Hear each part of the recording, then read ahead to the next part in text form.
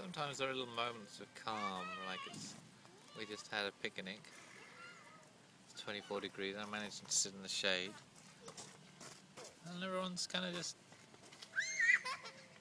chilling. It's just no crises, no dramas, no fighting. And it's kind of nice.